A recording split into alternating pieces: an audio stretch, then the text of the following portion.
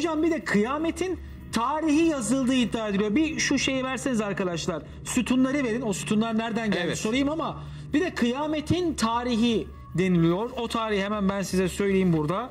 Evet. Ee, şöyle yazıyormuş. 18'inde Yevmi Pazar sene 1038. Üçüncü sırada bulunan güney yönündeki kapıdan girince üçüncü sırada bulunan sütunun üzerinde. Evet. Güya Hazreti Hızır kıyametin kopacağı tarihi Şimdi yazmış. Allah e, bir ayetinde ayet numarası hatırlamıyorum. Bir ayetinde kıyametin ne zaman kopacağını kimse bilemez diyor. Benden başka kimse bilemez diyor. Böyle bir ayet var.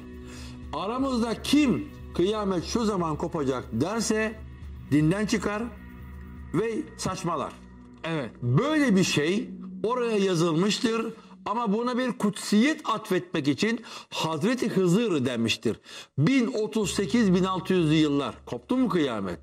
400 sene daha geçti üzerinden. Ha, 1038 1600 yıllara denk geliyor. Doğru. 1600'lü yıllara denk geliyor. Evet. Yani Hicri'de miladide 1600. Evet evet Kopma. 1602-1603'lü yıllara denk geliyor. Evet. O yıllarda kıyametin kopması bekleniyormuş. Demek ki bu oraya 1400-1500'lerde yazılmış. Hmm. Ahir zamana geldik. Kıyamet kopacak demişler. Onu oraya yazmışlar. Evet. O da büyük bir efsaneden öte Aynen bir şey öyle, değil. aynen Sütunlar öyle. nereden gelmiştir hocam? Şimdi bu sütunlar tıpkı Süleymaniye'nin sütunlarının İslam'a dair olan her yerden gelmesi gibi Ayasofya'da İslam'a dair olan her yerden geldi. Babek'ten geldi, Lübnan'dan. Aspendos'tan geldi. Filistin'den geldi. Bunlar Hristiyan medeniyetinin önemli olduğu yerlerden geldi ve fakat lakin oralar sonra İslam memleketleri oldu. Bugün de Ayasofya'nın sütunlarının geldiği her yer Müslüman memleket. Ayasofya'nın malzemeleri mesela şu mermerler Eğriboz adasından geldi. Kime ait? Bana ait. Mesela şu mermerler nereden geldi? Marmara adasından geldi. Beyaz mermer, Marmara adası mermeri. Hepsi bana ait. Ayasofya yüzde yüz yerlidir. Bu ülkenin malıdır. Ve Allah'ın izniyle cami oluyor artık çok şükür.